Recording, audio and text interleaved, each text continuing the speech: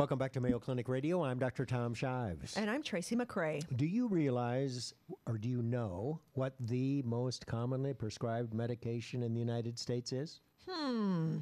Do I You have know, to take a guess? Yeah, you do, but I, I, I'll give you a hint. I would have said statins or some sort of uh, antidepressant or anti-anxiety medication. That's what it used to be. Valium, I think, was uh, whatever before statins came. Okay, you, are you going to guess? I wouldn't even hazard a guess. No. Well, if you did guess thyroid medication, particularly specifically levothyroxine, you would be correct. I should have guessed that one. Of course, you should have. Levothyroxine is used to treat hypothyroidism. Your own thyroid gland doesn't produce enough thyroid hormone. 21 and a half million Americans take levothyroxine. Including me. Do you? Do I do I get to talk about every every well, topic we're we going to find about? out today if you really need to be Yes. taking it. I know. Well, a recent study published in the New England Journal of Medicine suggests that not all of these people, Hmm. Tom, especially older adults, are really benefiting from taking it. Here to discuss thyroid medication is Mayo Clinic endocrinologist Dr. Juan Brito. Welcome to the program. Welcome back to the program, Dr. Brito. Oh, thank you for having me. Dr. Brito, good to have you. So, the recent study suggested that not everyone who is taking thyroid replacement needs to be taken. Do you agree with that? Yes, I completely agree with that. But uh, before we, we move to the, the reason why they found that, it is important to clarify that there are two kinds of hypothyroidism. Oh. So the first class is when your thyroid levels are actually low. And in that case, giving the medicine makes absolutely sense. You're just replacing what is needed. Your thyroid hormone level is low. Exactly. So the thyroid is not producing enough. It's producing 80, 60, 50, 40%. So the physician will find that something is um, abnormal in your blood test and will give you the medicine just to normalize the values. So that is completely Pretty clear cut. pretty clear cut. The second, which is more frequently found, very common, is when your thyroid levels are actually normal in your blood, but the signal from the brain is high, suggesting that your brain is sending a signal to the thyroid just to tell the thyroid to work more. That we call subclinical hypothyroidism. Subclinical. Yeah. So the prevalence of the common and more frequent hypothyroidism is about 0.2% of the population. Just a few number of people have the, the real hypothyroidism. But the subclinical one, in which the levels are normal, but the signal coming from the brain is high, is actually in 12% of people. So that's a large, large number. So, what you're saying is that those people, just because the signal is high, despite the fact that the hormone level is normal, they're being treated. Yes, the majority of those people get treated. So what the study was analyzing is in, in elderly people who have this subclinical hypothyroidism, what was the benefit of giving them thyroid hormone? And they analyzed the data by one year and they found that there's not benefit from the outcomes that they were measuring. Wait a second. Why give that? Why do that anyway? No matter if they're elderly or not. If their thyroid level is is where it should Normal, be, mhm. is normal. Why would you give a person thyroid medication anyway, no matter what their age? That's a very good question, and and there are fr- there are some triggers of treatment. So there are some reasons why clinicians are treating these people. One of those is that the experts have different opinions about it. So different guidelines about the treatment for hypothyroidism might recommend treatment, and some others might not recommend any treatment. So that is one. So clinicians get these mixed signals about when to treat, how to treat. The second one is that uh, the symptoms of hypothyroidism, the one that really levels are low, are very vague. So they are fatigue, hair loss, dry skin, weight gain. So that they usually happen in normal people with no conditions As they get older. as they get older. Oh, even yeah. you know young people, but yes. Yeah.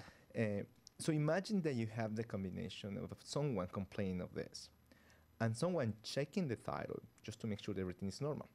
Now you find something abnormal in the test, and the patient having the symptoms. So they tend to come together as, oh, maybe we should treat, as a way to see how hap- what happens. But what ended up happening is that these patients get the treatment. Sometimes they don't feel any benefit, but then they never are asked to stop the medicine. Ah. So they continue this medicine forever and becomes one of the medicines that patients just get in the list Right. and they are difficult to actually step down. Well, that's what once I've always thought. Once you're on levothyroxine, you're on it for the rest of your life. Exactly. So that is the, the common belief, and it's, it's not accurate. It's not actually true. You can actually sometimes challenge that by stopping the medicine and see what happens with the levels. Is there a side effect, or is there is levothyroxine bad? Oh, Well, yes. Uh, if if the dose is is all right, it should not have any side effects. The typical side effects, but the medicine itself has to be taken in specific situations. So it has to be taken in empty stomach, 45 minutes before breakfast, every day of your life. You have to get it refilled. So there are other things that we don't always consider, but there's something that takes time to do it.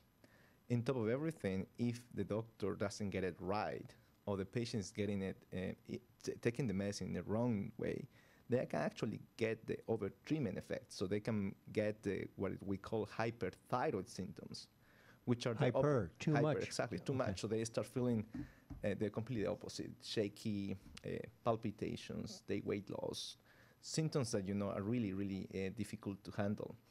So there is one study, for instance, they, they, the study found that almost 50% of elderly people initiated on levothyroxine therapy. At one point in therapy, they were overtreated. So 50%. And the majority of these people, they don't require thyroid hormone Wow. to start with. So there is, imagine this is the most prescribed drug in the United States, the third most prescribed drug in UK. And there is the potential of being overtreated with this, Yeah. But not really significant benefits. So, what should patients do if it's the most prescribed drug? Do you just the next time you have your follow up with your general practitioner, do you just say, "Can we double check this? What should we be doing?" So one of the things is, is to make sense of why you are taking this drug. So there might be patients that get some benefit.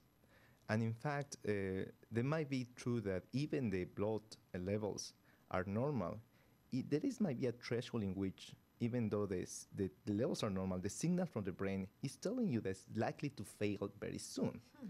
So yes, some patients actually might benefit of this, but they are not the majority. So when you are a patient taking levothyroxine, it's important to go back and the reason why you started taking it. If the symptoms that were supposed to improve by that did not get any better, well, you are getting your answer already that perhaps the medicine is not for you. Hmm. And you might want to step down the medicine, reassess in a few months, and see what the levels are and see what the symptoms are. And the same works. The same works when you are taking the medicine for the first time. Just makes sense that is a goal and it is a horizon when or how to stop it. So I always tell my patients if we're going to start this pathway, let's reconvene again in a few months. And if symptoms have not improved whatsoever, well, I think the answer is there. So the patients really that you're talking about, without making it too complex, but expanding a little bit on what you've said, is you're talking about the patients who have a normal thyroid hormone level but have an elevated TSH, thyroid stimulating hormone. So the thyroid stimulating hormone being high would suggest that your body is telling your thyroid to produce more hormone, hormone but your blood test shows that it in fact is normal. So in, in you're saying that those patients don't really need to be treated. The majority of those patients, they don't. But again, there is a small group of patients in which the signal for the brain, the TSH value, is rising or going really um, above above 10 or 20, so very high numbers. It's telling you that it's very likely that that thyroid will fail very soon. But the majority of patients, they don't have that. They just have a slightly abnormal value. And to compound everything, it seems now that elderly people, people about 65, actually have normal high values of TSH. So the brain normally, as we age, sends a higher signal to the thyroid. All right, levothyroxine, the most commonly prescribed drug in the United States, and you may not need to be taking it.